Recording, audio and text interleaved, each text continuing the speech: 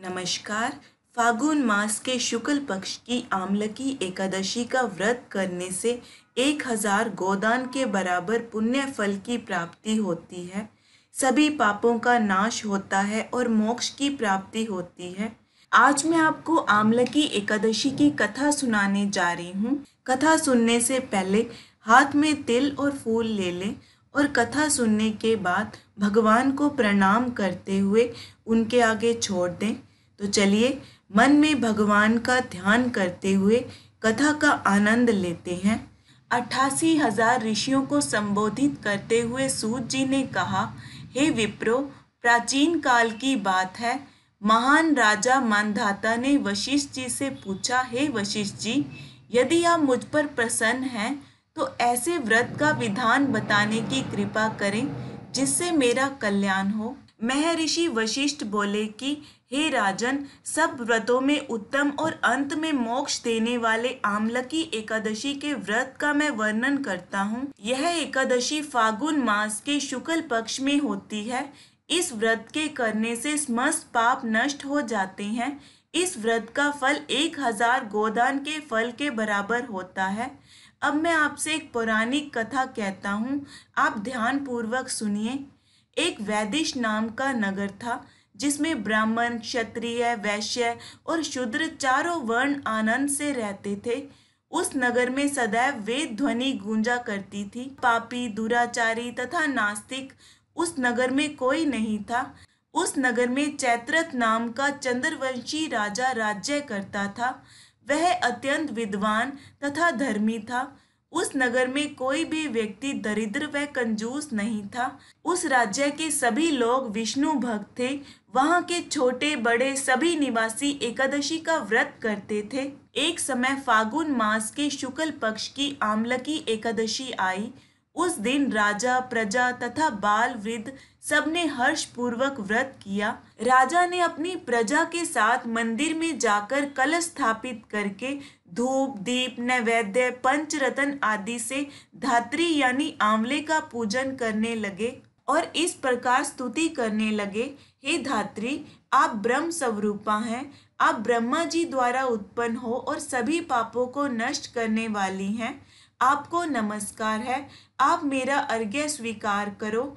आप श्री रामचंद्र जी के द्वारा सम्मानित हैं। मैं आपसे प्रार्थना करता हूँ, मेरे सभी पापों का नाश करो। उस मंदिर में सबने रात्रि को जागरण किया। रात के समय वहाँ एक बहेलिया आया, जो अत्यंत पापी और दुराचारी था। वह अपने कुटुंब का पालन जीव हत्या करके किया करता था। भूख और प्यास से अत्यंत व्याकुल वह बहेलिया इस जागरण को देखने के लिए मंदिर के एक कोने में बैठ गया। विष्णु भगवान तथा एकादशी महात्म्या की कथा सुनने लगा। इस प्रकार अन्य मनुष्यों की भांति उसने भी सारी रात जागकर बिता दी। प्रातःकाल होते ही सब लोग अपने घर चले गए तो बहेलिया भी अपने घर चला गया। घर जाकर उसने भोजन किया। कुछ समय बीतने के पश्चात उस बहेलिए की मृत्यु हो गई।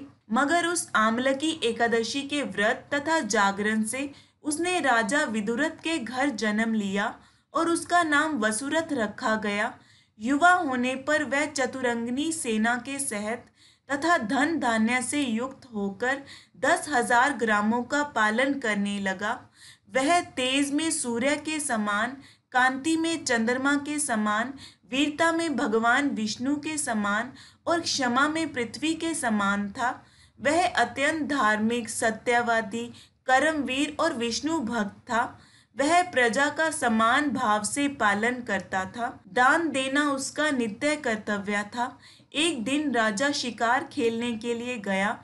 दैव योग से वह मार्ग भूल गया और दिशा ज्ञान न रहने के कारण उसी वन में एक वृक्ष के नीचे सो गया। थोड़ी देर बाद पहाड़ी डाकू वहाँ आ गए और राजा को अकेला देखकर मारो मारो शब्द करते हुए राजा की ओर दौड़े। डाकू कहने लगे कि, इसी दुष्ट राजा ने हमारे माता पिता पुत्र पौत्र आदि अनेक संबंधियों को मारा है तथा देश से निकाल दिया है, अतः इसको अवश्य मारना चाहिए।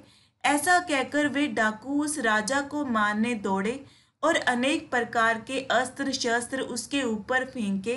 वे सब अस्त्र शस्त्र राजा के शरीर पर गिरते ही नष्ट हो जाते और उनका वार पुष्प के वार के समान प्रतीत होता। अब उन डाकुओं के अस्त्र शस्त्र उल्टा उन्हीं पर प्रहार करने लगे, जिससे वे मूर्छित होकर गिरने लगे। उसी समय राजा के शरीर से एक दिव्य स्त्री उत्पन्न हुई।